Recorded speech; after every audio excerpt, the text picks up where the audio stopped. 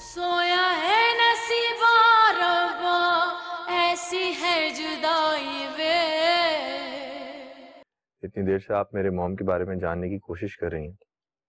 I am sure इसलिए तो phone नहीं किया होगा आपने। तुम्हें क्या लगता है? अगर आपको मेरी मॉम से इतने कंसर्न होता तो आप बहुत पहले कॉल कर चुकी होती। समझदार हो। लेकिन लोगों के हाथों बेवकूफ़ बन रहे हो। क्या मतलब? सुंदर को साथ क्यों नहीं लेकर गए तुम? मुझे इमरजेंसी में यहाँ आना पड़ गया और वैसे भी उसने यहाँ आना ही है। वीज़ा के लिए अप्लाई किया हुआ है। किसने? जहांगीर भाई ने। तो फिर तो अब तक उसे तुम्हारे पास होना चाहिए था। लेकिन उसका वीज़ा तो अब तक नहीं लगा। ऐसा क्या है जो सुंदर को यहाँ रोके हुए है? अगर सच सुनने की हिम्मत है तो सुनो। एक शादीशुदा औरत अपने शोहर की इज़्ज़त होती है। और अगर उस इज़्ज़त पर दाग लग जाए तो पूरी ज़िंदगी गुजारना मुश्किल हो जाता है। तुम जिसके आश्रय पर अपनी बीवी को छोड़कर गए हो, उसकी रग रग से वाकिफ हूँ। मैं ऊपर से शरीफ और अंदर से एक जानवर इंसान है वो। अगर तुम्हारे अंदर जरा भी गैरत बची है ना तो फ़ौरन आके अपनी बीवी को जल्द से जल्द यहाँ से ले जाओ।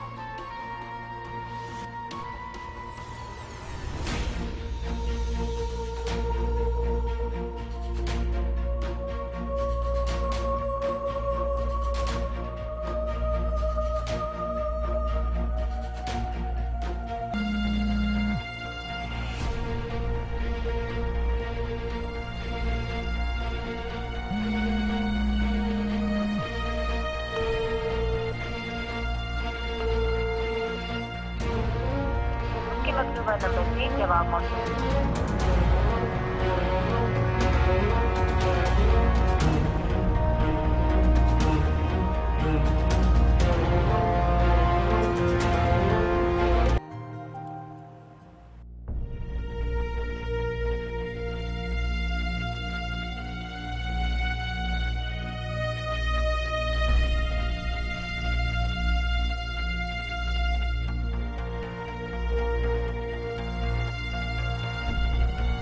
बेटा इस वक्त कॉल किया आपने? ठीक तो हो ना? जी ठीक हूँ। सोए क्यों नहीं अब तक? नींद ही नहीं आ रही। बाबा कहा हंस हंस कर बातें कर रहे हैं। तुमसे? नहीं सुंदर सापी के साथ। अच्छा कहाँ बैठे हैं लोग? लॉन में। तुमने खुद देखा है दोनों को? हम्म। ऐसा करो जल्दी से ना दोनों की वीडियो बना लो वीडियो लेकिन क्यों? उमर बेटा टाइम जाया मत करो। जल्दी से जाकर वीडियो बनाकर मुझे भेजो फिर बताती हूँ तुम्हें। अच्छा ठीक है।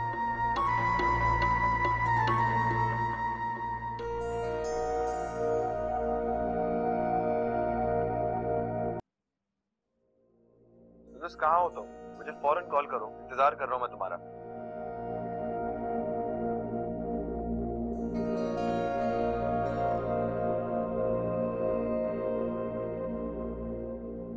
Hello ji I am really sorry Khurram वो मैं कमरे में अभी आई हूँ तो आपकी मिस कॉल्स देखी हैं। कहाँ थी तुम? मैं वो जहांगीर के साथ अ, बस वो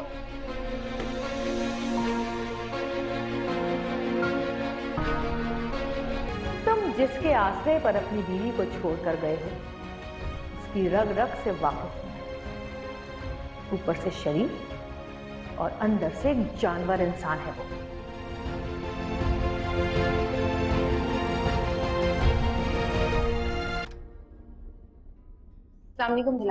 वालेकुम अस्सलाम।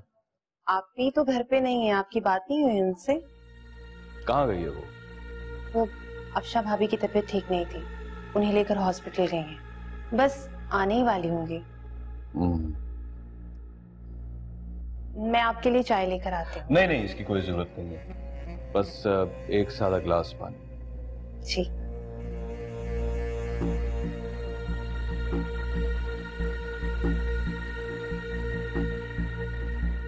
पानी। मुलाजमा क्या भिजवा रही थी? आप भाई हैं मेरे। आपके काम करना अच्छा लगता है मुझे।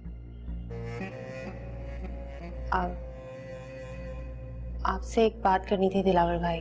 हम्म कहो क्या बात?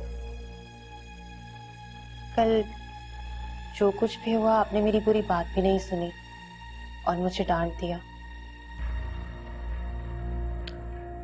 जो होकर गुजर जाए ना उसे भूल जाएगा लेकिन हम्म। देखो ज़िंदगी में कभी भी कोई बड़ी गलती करोगी ना तो मैं तुम्हें माफ़ कर दूँगा। लेकिन अगर गौहर के बारे में इतनी सी भी छोटी और गलत बात की तो ना तुम्हारा लिहाज करूँगा और ना ही तुम्हें माफ़ करूँगा।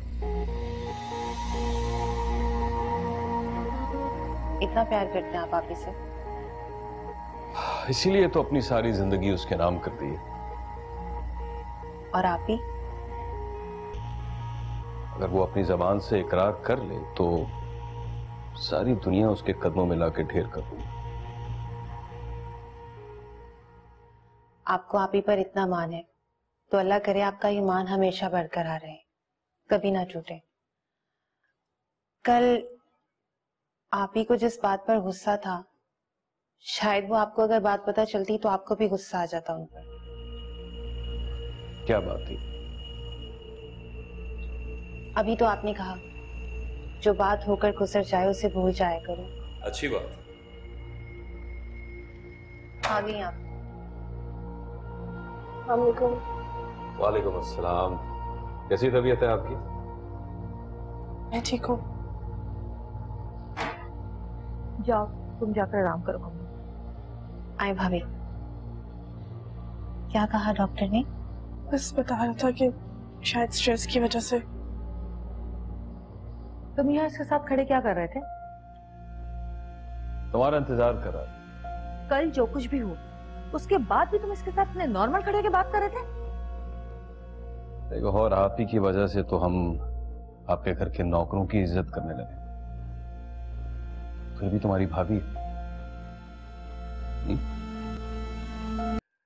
वाह क्या बात है। अपनी बेटी के कहने पर तो तुम सारे काम रोक कर उसके पास जा रहे हो। और मुझे मेरे बेटे से मिलने से रोका हुआ है तुमने? क्यों?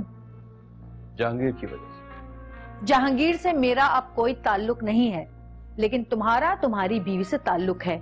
तुम्हारी बीवी है वहाँ पर जहाँ तुम जा रहे हो। अगर तुमने उसे मुझसे ज़्यादा वक्त दिया तो अच्छा नहीं होगा।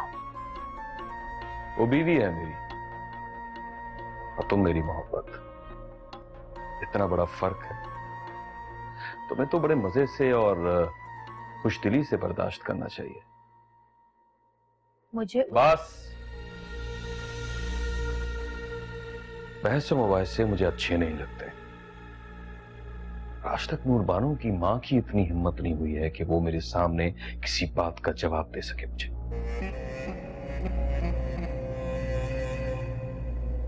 मुझे उस औरत से मत मिलाओ। लेट हो रहा हूँ। नूरबानों के सोने से पहले मुझे वहाँ पहुँचा